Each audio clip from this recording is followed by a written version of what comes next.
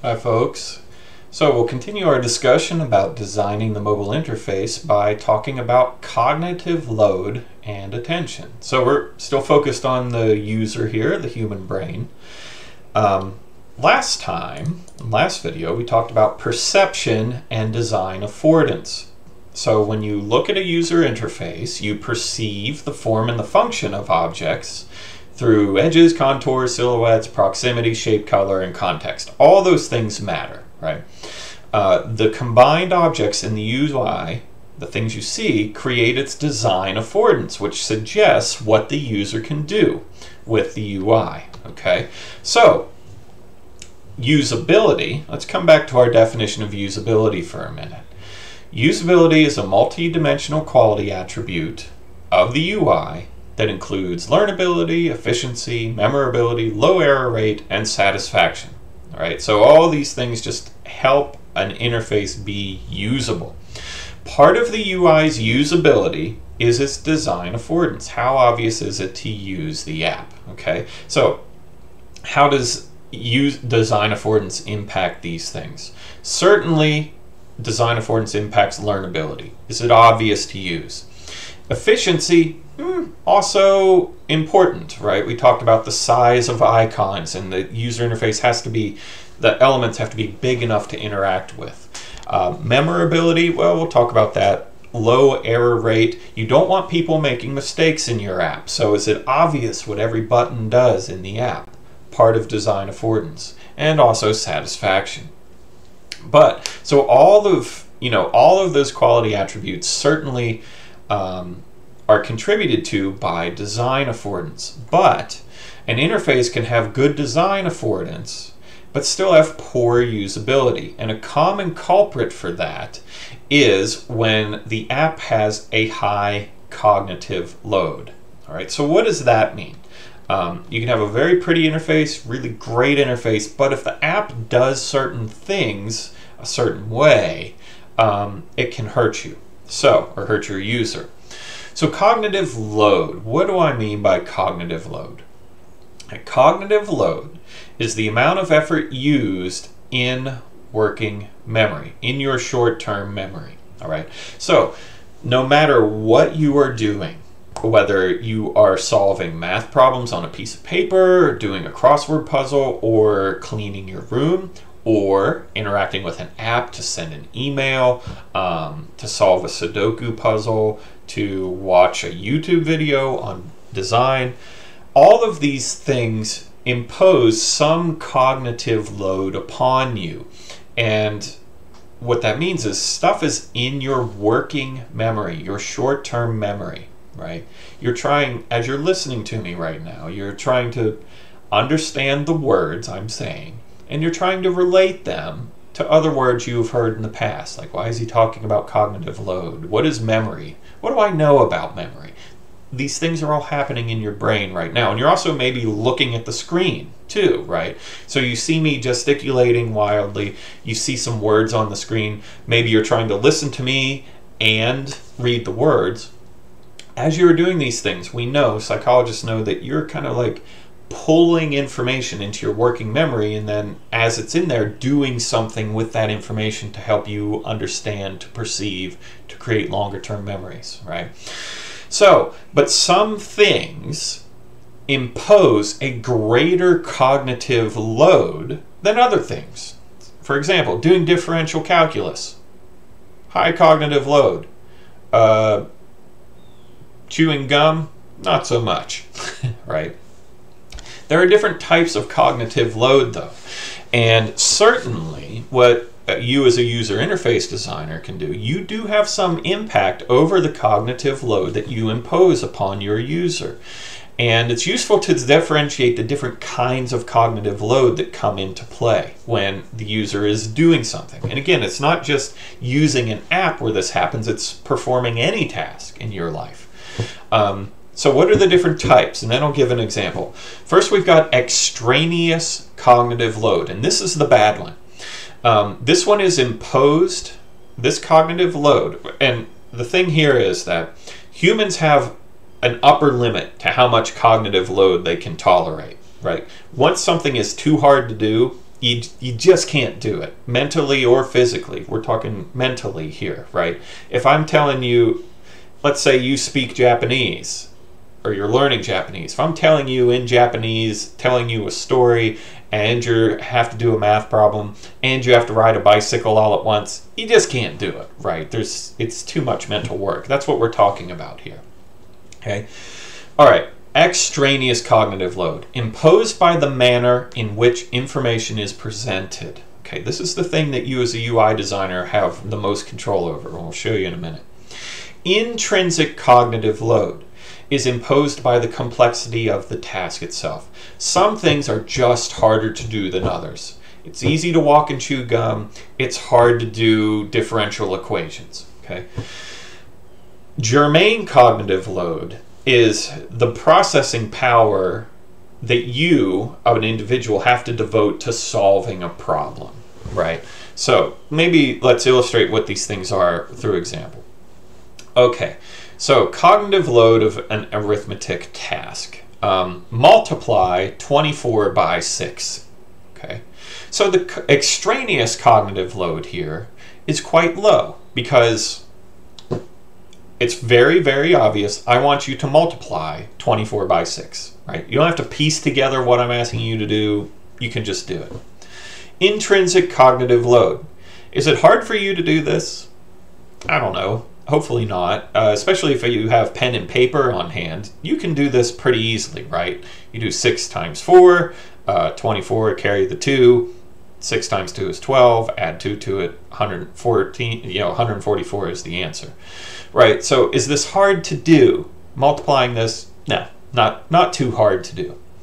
So the germane cognitive load then becomes high. And that's a good thing, right? What that means is that your memory, your working memory, your brain power that you're devoting to this task, it is spent entirely on solving the problem, on completing the task.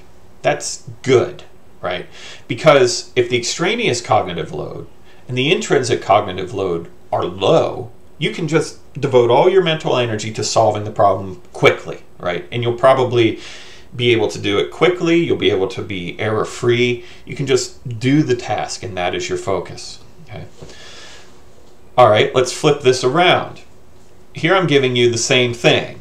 Multiplicand equals xxiv, multiplier equals vi, product equals this. Okay. Now, I am asking you to do the same thing, which is multiply 24 by 6. But I've asked it in a very silly way, right? Like, this you understand, this is stupid, right? Like, this is awful.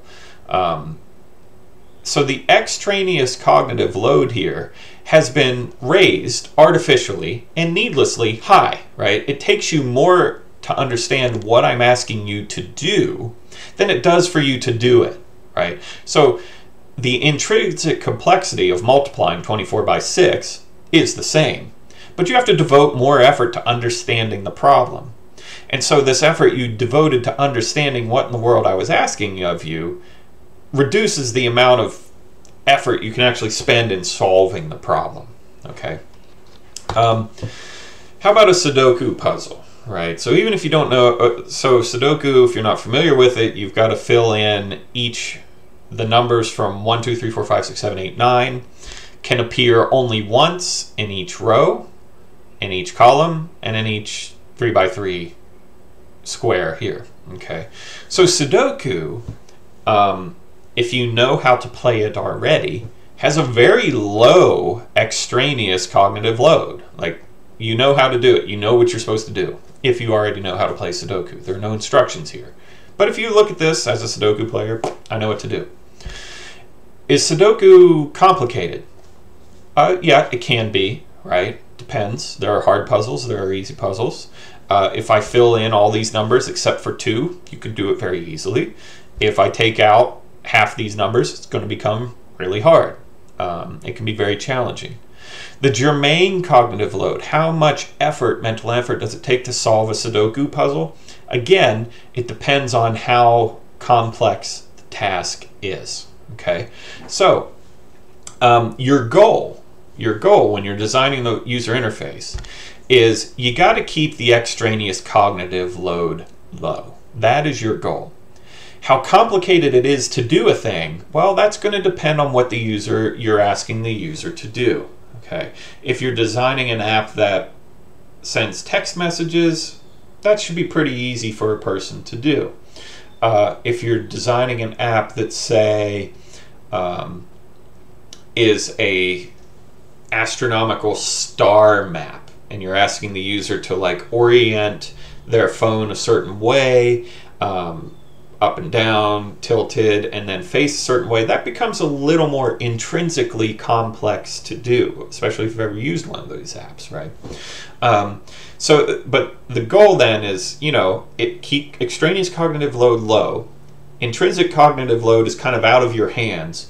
In the germane, you want that to be as high as possible. You want the user to spend as much as needed in terms of processing brain power to solving the problem. Okay, the more they can devote, the quicker they can do it.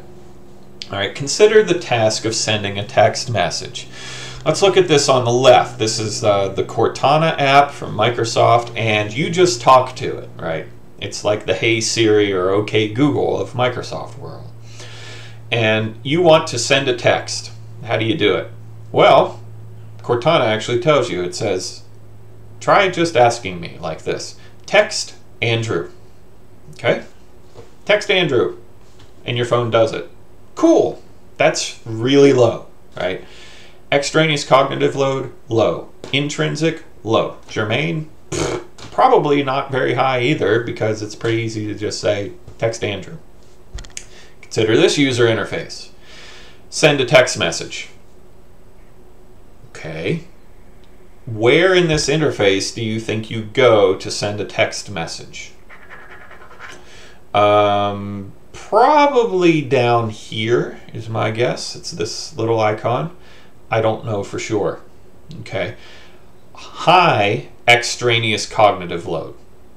Useless here, right? Like the actual difficulty of sending a text message um, composing the message and telling it to send, that's still easy and low, but um, because of the nature of the interface, just finding where to do it has made this unnecessarily difficult.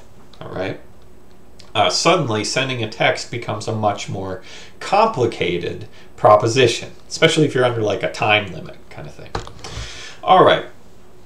So we humans have these cognitive resource limits, and you may have heard this uh, statistic before, or quantity before, that human working memory or short-term memory can hold seven plus or minus two items at any one time. Okay, so examples of items. Words or concepts you hear. Activities or menus you clicked on to get where you wanted to be. How did I get here exactly? debugging steps that you have tried already. You all are programmers. Um, and you're trying to get that nasty bug out of your code. And you've tried a few things and you've got in your head like how you got to this point in the code and what had to happen for you to get here. This is why debugging is so hard. You can only keep so much in your brain at once, right? The items on the screen that may be related to what you want to accomplish. Okay, so you're presented with a busy interface. Where do I need to go? And what did I try before?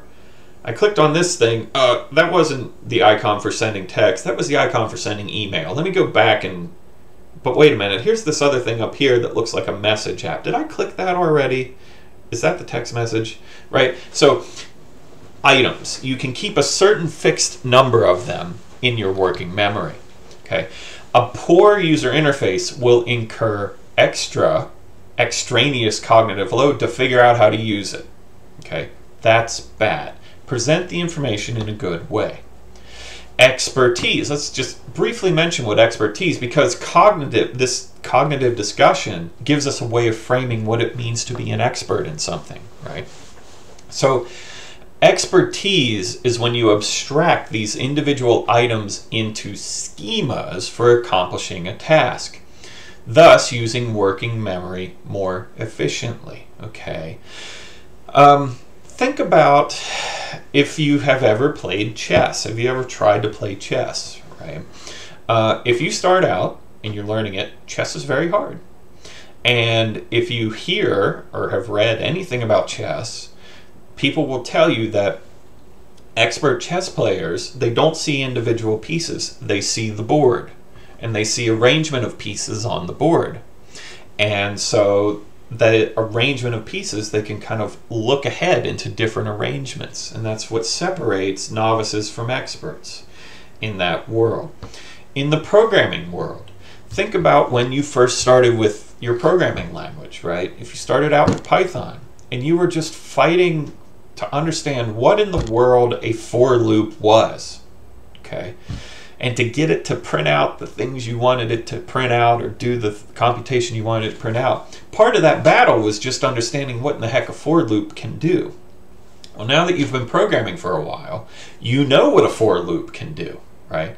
And when you're presented with a problem that does, says like, "Hey, add 500 to everybody's checking account," you can say, "Well, clearly I need to use a loop of some sort for that because I'm going to have a collection of items, these bank accounts, and I need to do something to each one of them." That calls for a loop, right? So that's what being an expert is. Whenever you can kind of take individual items that you perceive and form them into a pattern that you've seen before, and we call those patterns schemas. Okay. So, is cognitive load important? You bet. Here's the cockpit for, or the flight deck, excuse me, of some aircraft. I don't remember which one this is. But, you know, you, you may have heard of the movies where the pilot is incapacitated and the, the passenger needs to come in and fly the airplane and land and save everybody. Yeah, forget it. right? Look at this thing you have no chance of figuring out as a complete novice what all this stuff does. That's why pilots have hundreds of hours of training. Um, however, if you are a pilot, a seasoned pilot, and you come into this flight deck, eh, you, you just know what to look for. Kind of like driving a car, right? When you learned how to drive a car, you kind of sat down behind the steering wheel and there's switches on one side, switches on the other, there's dials on the dashboard, there's buttons to press. a little overwhelming your dad says, "Hey, turn right. Put on turn right here." Okay. If I say turn right and you are a seasoned driver, you know you should put on your blinker, you should check your mirror, make sure there's nobody coming up on your right-hand side. You should then turn the wheel, probably slow down uh, as well to make your turn. As a complete novice, you probably had to be instructed to do each of those things, right? Um, so, if a task is really important, or you overburden someone's cognitive capabilities to process what they need to do, they are likely to make a mistake, right? This flight deck is not a place you want to be making mistakes, right? Same thing in your interface. If your interface is too complicated to use, you don't want people making mistakes. If they make mistakes, that leads to poor usability, right? You want people to be able to work in your app efficiently, right? So burdening them with cognitive load can lower their efficiency, cause them to make mistakes. Here's an example. Again, this is not a mobile application. Um, can you tell what this is just by looking at the screen?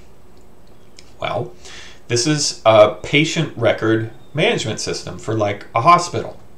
Okay, um, a little complicated, right? There is a lot of garbage on this screen. Now, do you think that a nurse or a physician assistant or a doctor who is using this system needs all this stuff? The answer is no. They absolutely do not need all of this stuff. Um, and in fact, um, Ben Shneiderman, a guy who we'll talk about next time, kind of one of the real pioneers of user interface design for computing applications. He spends a lot of his days nowadays working in health systems and health record systems because people die because medical records are wrong. Why are medical records wrong? Well, their interfaces tend to stink, like this one. They're hard to use, so people don't put in the information they should, and they have a hard time getting information out. People looking at this information may be looking at it in an emergency, so they need to see what they need to see quickly. Um, so, why is this user interface so bad? Well, most medical record systems are not designed for doctors or nurses, they're designed for accountants and people who bill based on the services rendered. Okay, so cross purposes here. All right, so cognitive load. Um, can be a big deal. You know, we're talking about errors here and inefficiencies here that could, that are safety critical. Your app is probably never going to be safety critical, but nonetheless, if people are inefficient or make mistakes when using it, that impacts the usability. Bad usability impacts user experience. People are going to stop using your app. Let me talk for just a minute about attention because it's related to cognitive load. Okay, what did I just say? Let's talk about attention because it's related to cognitive load. Hard to pay attention when you got a bunch of crap flowing around on your screen, right? Um, you have, as a human being, different input channels sight, hearing, smell, touch, taste, right? Perceiving the input on these channels, whether it's listening to me, reading the words on the screen, looking at the picture, or being distracted by animation, um, imposes some burden on your memory to deal with the information, right? Um, it's a whole psychological phenomenon. So, if you are trying to accomplish a task, like you're trying to learn about cognitive load, and a horrible stink enters the room because your roommate had bad chili last night, you're going to get distracted from learning. Or maybe you're sitting in the library and the person making the coffee at the coffee bar drops the ice. You're going to be distracted, right? So, input channels that are unrelated to the task at hand can destroy the contents of working memory. So, on mobile devices, the primary channel that your users are working with are sight, right? Mostly they're focused on completing the task by looking at what's going on, but there could be hearing involved. They could be doing something like Duolingo that's teaching you a language. Um, and certainly applications, uh, mobile apps can like vibrate the device to give you feedback or to like, if you're playing a game, to indicate you like crashed a car or something like that, right? So, you know, you have to be careful. You have to think about it. You cannot overload your user. And in particular, you know, where does this come into play on a user interface for a mobile application? Animation. Animation is bad unless it's very specifically related to the task at hand. Okay? So, um, attention, cognitive load, these are all things that are important for you to bear in mind about how your user interface can impact uh, a user, right? So, I'm going to wrap up this video um, with a redefinition of usability. Now that we kind of understand a little bit better the human mechanisms that impact usability. All right, so usability, again, is a multidimensional quality attribute. Quality attributes means like an adjective of the UI that includes learnability. Can I look at the app and understand what I can do with it? Can I pick it up quickly? Efficiency. Can I accomplish that task quickly. Memorability. If I put it down and come back six months later, is it the same? And low error rate. Can I accomplish my task without making a mistake? And then just general satisfaction. Did I feel good using the app? Did I do what I wanted to do and did that make me happy? Right? These are usability. Okay. Designing the user interface, when you are building your user interface, you need to make it easy to learn, and remember, that's design affordance. You need to make it efficient and error free. That involves considering the user's cognitive load and accomplishing the various tasks you give them. And then finally, you need to satisfy the user. That's UX, user experience, how you do things. Okay? So, um, that's kind of the end of talking about design affordance, perception, cognitive load, kind of human aspects of usability. Next video, final video for this week, we will talk about the eight golden rules of user interface design.